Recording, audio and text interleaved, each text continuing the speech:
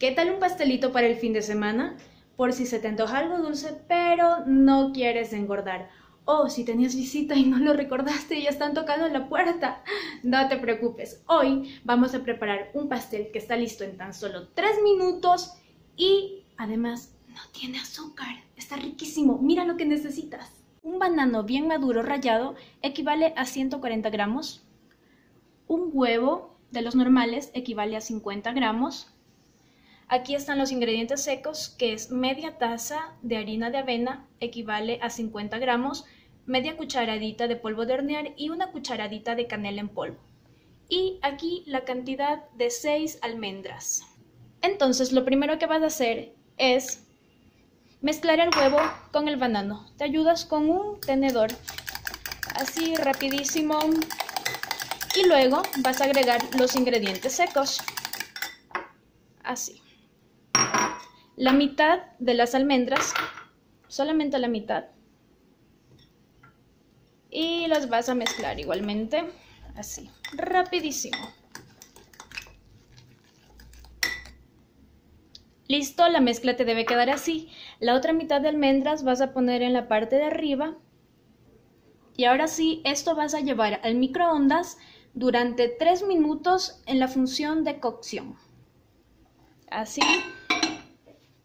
en tu micro.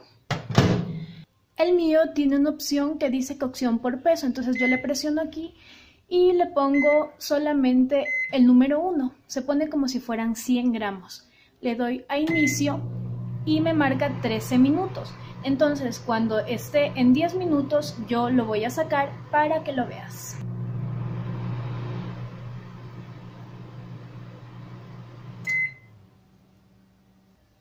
Vamos a ver cómo quedó.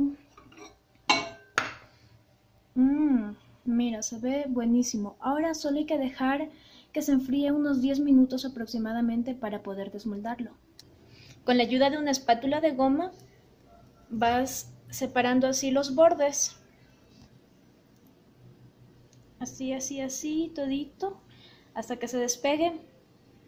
Siempre es importante que lo hagas en un recipiente apto para microondas y de preferencia que sea un Pyrex como este. Ahora solo lo voy a cortar. Yo tengo cuatro porciones de este delicioso pastelito.